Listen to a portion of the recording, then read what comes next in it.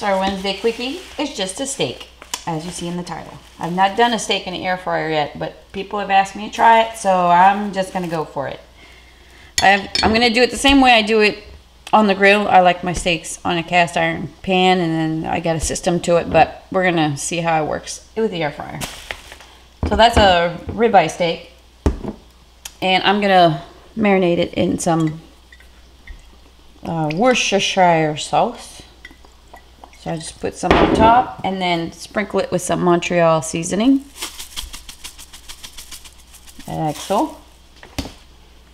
Let's flip her over. A bit more of this. Some more of that.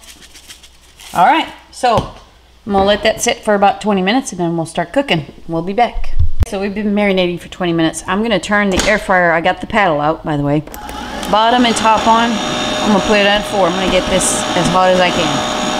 And I'll tell you how long it takes. That was about five minutes. And I'm gonna do it the same way I do it in my cast iron pan. So here goes nothing. It's quite hot. So I'm gonna sprinkle some olive oil where I'm gonna put the steak at. Oh yeah. Put some olive oil on top and keep going.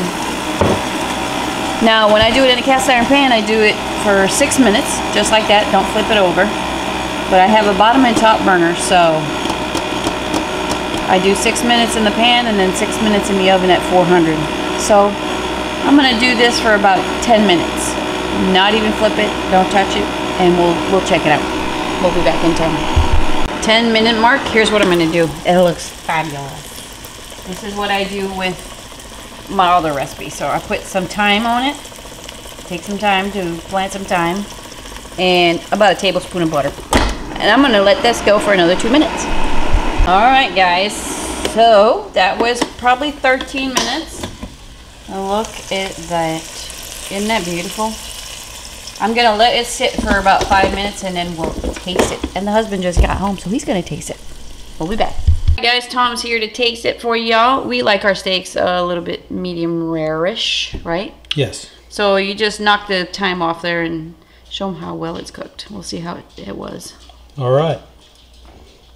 I'll try to do it at an angle so we can...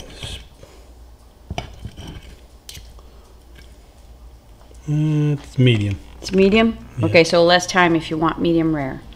That was 13 minutes. Kind of medium well, actually. Medium well.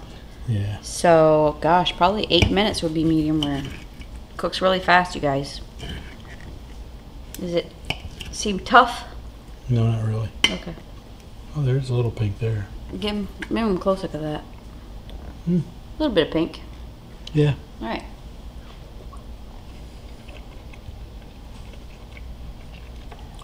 Hmm. Yeah, pretty good. Is it good? Mm-hmm. Cool. Pretty tender. Awesome.